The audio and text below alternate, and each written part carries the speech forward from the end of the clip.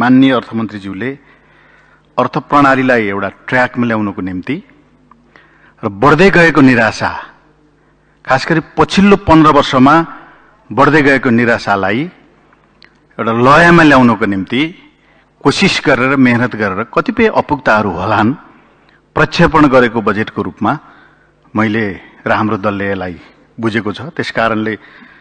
केही सीमा समस्या कमीका बावजुद पनि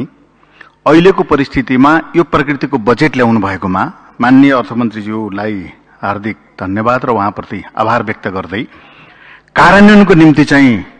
तदारुकताका साथ सम्बन्धित निकाय, सबै पक्षलाई परिचालित गरेर बजेट कार्यान्वयनको जुन आशंका बाहिर प्रकट भएको छ, बजेट कार्यान्वयनको निम्ति माननीय अर्थमन्त्रीज्यूले महत्त्वपूर्ण भूमिका निर्वाह गर्नुहुनेछ भन्दै हाम्रो दलको तर्फबाट बजेटको स्पिरिटलाई म दृढतापूर्वक समर्थन गर्न चाहन्छु। अब यो पछिल्लो पन्ध्र वर्षमा